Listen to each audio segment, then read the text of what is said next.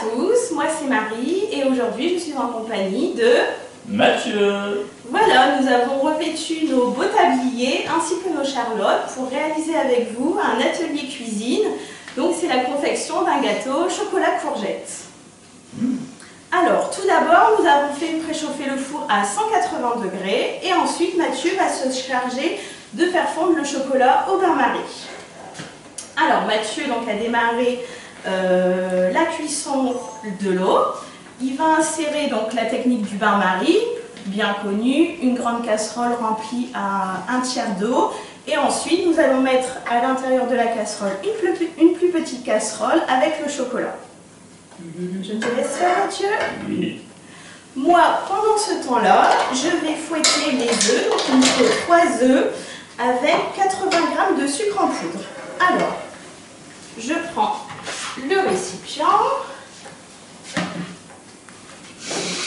Donc voici mes trois œufs. Alors, si tu veux la casserole pour ton chocolat. Alors, les œufs, surtout les casser un par un dans un plus petit récipient parce qu'on ne sait jamais si l'œuf il est bon ou pas. Alors, le premier. Ça va, il te semble Ouais, correct Très bien, ça fond. Donc le deuxième. Hop. Tu valides toujours? Très bien. Très bel œuf. Alors c'est quand même un gâteau surprenant parce que euh, chocolat courgette, parfois on peut être un petit peu réticent, mais vous allez voir un régal. Et le troisième. Voilà. Alors je commence à mélanger. Les œufs, ici.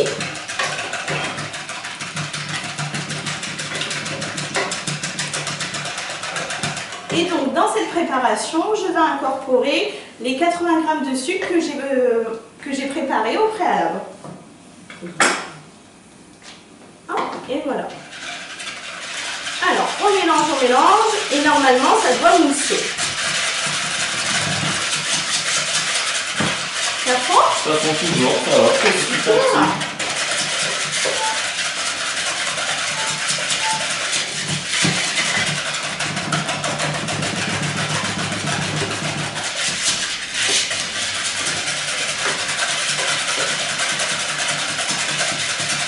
Alors, on touille, on touille, on touille, on touille.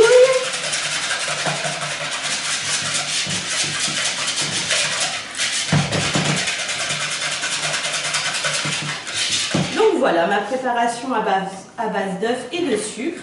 Et ensuite, je vais préparer ma courgette. Donc c'est une courgette à peu près d'une taille moyenne, environ 250 grammes. Donc que j'ai épluché. Donc moi, c'était une plus grosse courgette que j'ai trouvée en grande surface. Du coup, je vais enlever un petit peu les pépins qui se trouvent au milieu. Alors, on enlève le milieu.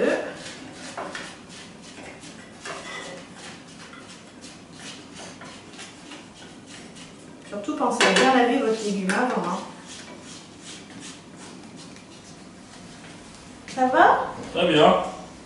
Magnifique. mon assistant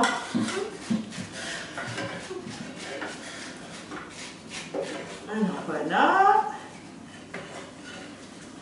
Je fais pareil avec l'autre morceau. Donc j'enlève le milieu.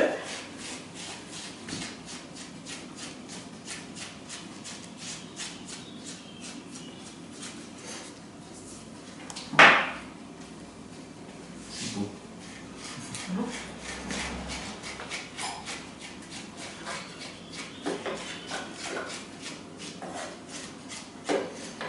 Voilà. Et ensuite, je vais râper la courgette. Alors, mon récipient. Tac. Tac. Alors, par contre, je vous tourne le dos. Je vais essayer de les mettre correctement. Je prends un autre saladier. Hop. Alors, ça va faire du bruit, hein.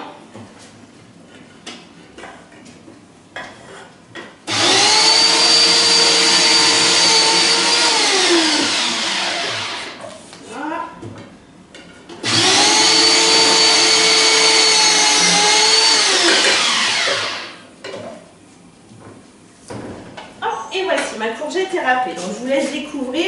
C'est la taille euh, comme quand vous râpez euh, des carottes râpées. Voilà. Alors, ton chocolat, Ça vient bon. il est presque Presque fondu. Donc on va encore attendre un petit peu. Moi, j'en profite pour redonner un coup de fouet à ma préparation sucre et œufs.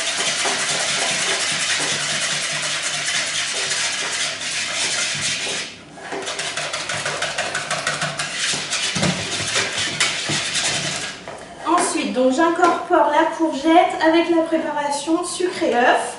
En attendant, Mathieu, il termine de faire fondre le chocolat et après, il va incorporer le chocolat aux trois ingrédients. Alors, je mets la courgette.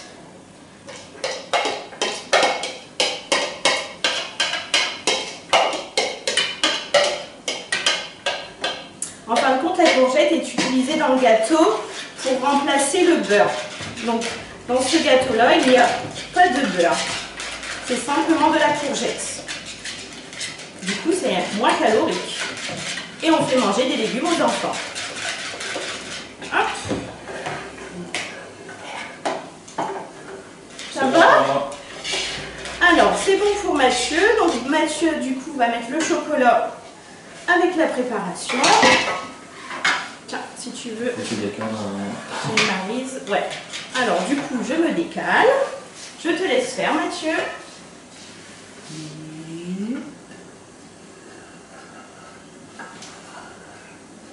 Alors, on tourne un petit peu.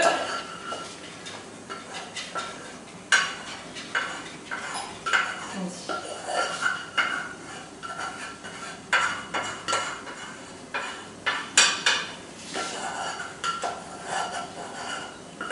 J'essaie de voir les, les fonds.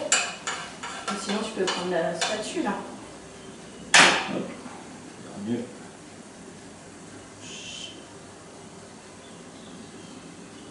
Voilà. Chocolat. Super. Alors, tu te redécales, comme ça je reprends place. Merci. Alors, on mélange du coup notre préparation.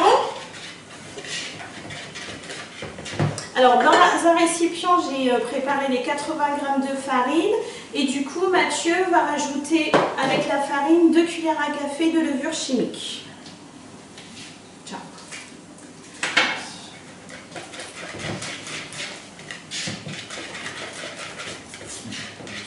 Voilà, je vous laisse découvrir le chocolat avec la courgette, la euh, les œufs et euh, le sucre. Oh Tu crois qu'on fait comme ça? Non, Vas-y. mais non. T'as vu la cuillère carrément dans le sachet Voilà. Stop Voilà. Magnifique. Cuisinier hors pair. Donc voilà, et maintenant du coup j'incorpore ma farine avec la levure. Alors en petite quantité.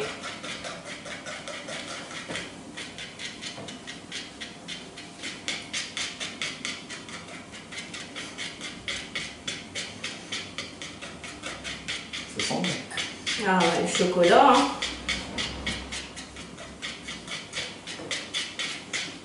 Voilà.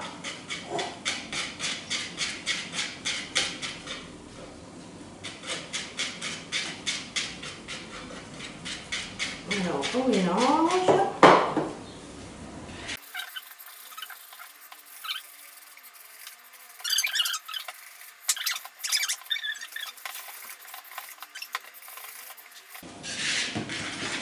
Et voilà, ma préparation est prête.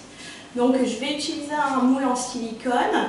Euh, si vous utilisez un moule en silicone, pensez à bien retirer la grille du four et aussi à le passer sous l'eau froide. Si vous utilisez un moule traditionnel, pensez à le beurrer un petit peu et euh, à mettre de la farine pour éviter que le gâteau, bien sûr, euh, colle au moule. Et j'aurai juste besoin de la grille aussi, du four, s'il te plaît. Elle est là la grille sur la table. Voilà, comme ça je vais déjà poser, Oh, merci. je vais déjà poser le moule. Qui se cache derrière. Oui, oui, oui, nous avons aussi Stéphane qui est euh, second assistant euh, de cet atelier. Du coup, n'a pas participé à la recette, je pense qu'il sera chargé de faire la vaisselle. On verra ça, on verra ça. Bien sûr que si. Alors, hop, donc ça c'est ira au sale. Donc voici ma préparation que je renverse dans mon moule. Alors attendez, je vais vous montrer. Donc c'est un moule de diamètre euh, standard. hein.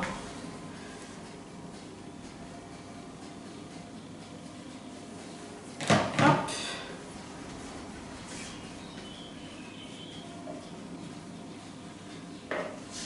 Voilà.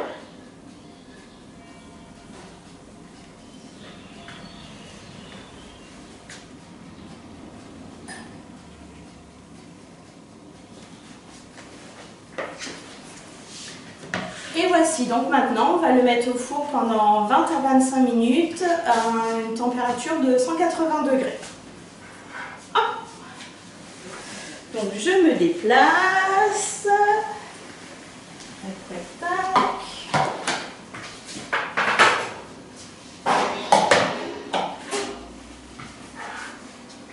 Tu mets le chrono Mathieu Bien sûr.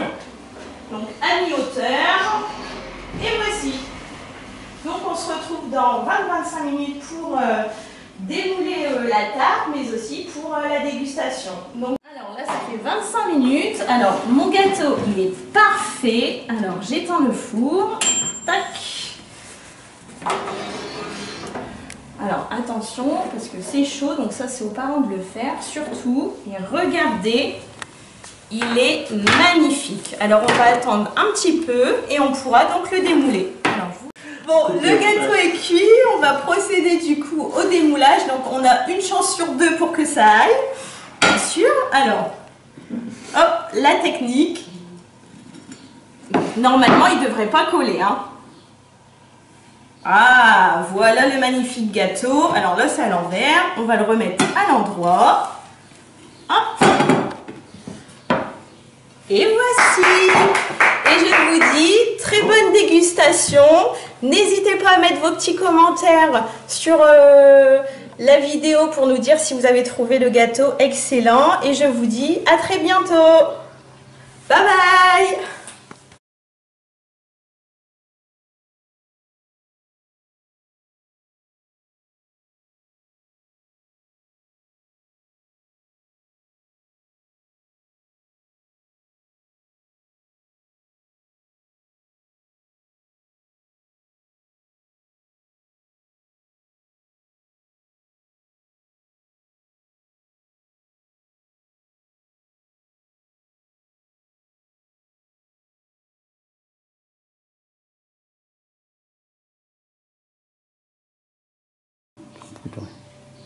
Et n'oubliez pas, respectez les gestes barrières et aussi restez chez vous.